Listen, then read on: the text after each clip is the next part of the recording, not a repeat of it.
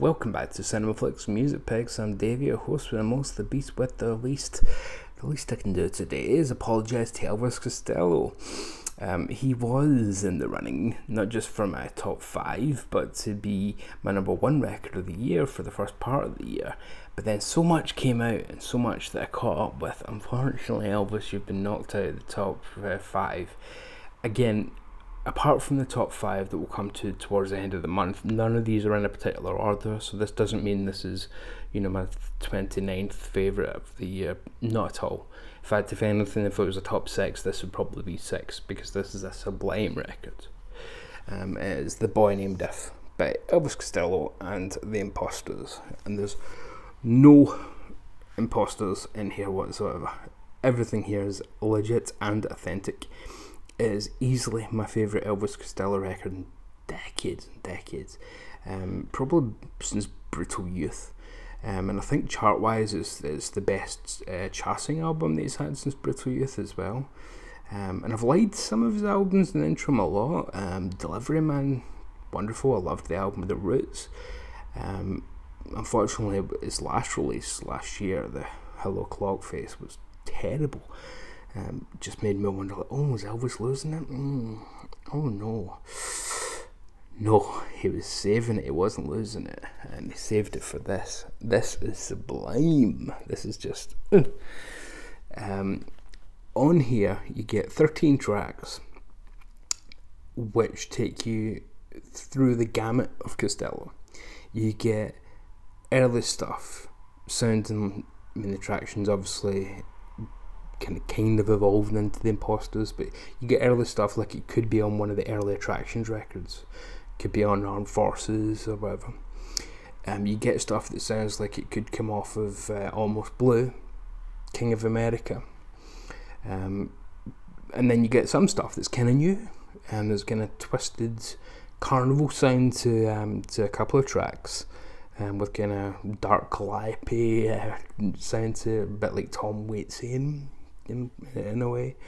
Um, cool murder ballads and, and uh, the difference, for example. But overall, and I'm not going to go into too much depth because I did a full review, and I mean a full review, it was over half an hour of this box and this uh, album. Overall, this is just sublime Elvis Costello, and again, something for everybody on it. Um, I mean, Farewell OK kicks it off with a kind of rockabilly um, garage rock stomper, um, the boy named If, the title track, is just sublime. Brings in the kind of classic um, organ sounds. But um, Penelope, Halfpenny again sounds like it could have come off of one of the really early records. My Aim is True, even um, the difference is one of the murder ballads I was referencing. Uh, then you get to well, what if I can't give you anything but love, which that's how you do. Uh, that's how you do a, a kind of love song, but done still in a rock and pretty fuzzed out heavy guitar rock style. Um, with the uh, I recall the moonlight falling on your face. You're all that I adore. What if I can't give you anything more? Now you'd think reading those lyrics that would be done in a maybe a very quiet, almost acoustic way. No. It's done in a heavy fuzzed out guitar fashion, which is wonderful. It's a great juxtaposition. Um, it's a wonderful way to to do these things, um, and that's followed by something that is more gentle and acoustic. So he's following a ballad with a ballad, but completely different. Um, and this is Paint the Red Rose Blue. So whereas What If I Can't Give You Anything But Love was a ballad done as a rocker, this is a more traditional ballad. Um, and Paint the Red Rose Blue is just. um, it's just gorgeous. Um, think Donovan's Lalena, you know, Lalena, can't blame you. It's got that kind of vibe to it. Um, Elvis sings in a beautiful low key style, um, and it's just the words that came to him, both the lies and the threats, they all they all arrive arrived too easily but they ran up some debts. That's what I'm feeling at the moment, to be honest, trying to describe this. um, um, turn the red rose, paint the red rose blue. What was he to do but paint the red rose blue? It's just gorgeous. It's just an absolutely insanely gorgeous ballad. Um, yeah, I mean, I could go through them all, but again, if I can stick a link in, in the description and the the comments. Um, the man you love to hate is brilliant. Magnificent Hurt, oh boy, oh boy. Um, the death of magic thinking's got very Ray Davies like lyric to it. Um, and in fact, Mr. Crescent sounds like Mr. Pleasant, so maybe that's where the Ray influence comes from as well. Um, and this edition itself is the uh, collector's one that Elvis was selling him from his website, where it was, comes signed by him, um, and it gives you every track with not just let's just jump in, not just the lyrics, but you get a short story to accompany each one, a fable as he calls it. So it's 13 songs, 13 fables.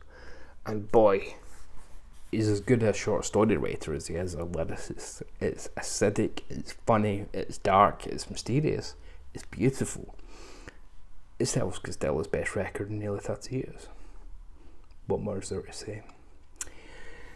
So again, um, I'll pop the other video on there where you can see me with my very long hair down to, down to, down to my breasticles. Um, and uh, that was well before I'd figured out YouTube and it was just... Anyway, enjoy if you want to. Um, but yeah, at joint sixth is Elvis Costello and the Imposters with the boy named If. If you are an Elvis Costello fan, and even a lapsed one, this is the one that should get you back on board. Doesn't matter what kind of Elvis Costello fan. I think there's something for everybody here. So maybe you won't like everything, but I guarantee you there's something for you here. I guarantee it. If you're an Elvis Costello fan, there's just no way you're not going to find something on here. Just no way. Otherwise, you wouldn't be an Elvis Costello fan. But at the same time, it doesn't sound like he's gone, oh, I better do something retro. Clockface didn't go down well. Doesn't sound that way at all. Never comes off as, let's just do a classic sound and, uh, you know, let's just knock one out that the fans would like, you know, an easy one. Never seems that way. It's as crafted and as gorgeous as anything is released. Um, yeah, beautiful, beautiful, sublime. I'm kind of talking myself into putting it back into the top five. but um, yeah, Elvis Costello. Bless you, sir. Bless you. Anyway, stay very safe out there and uh, love and mercy.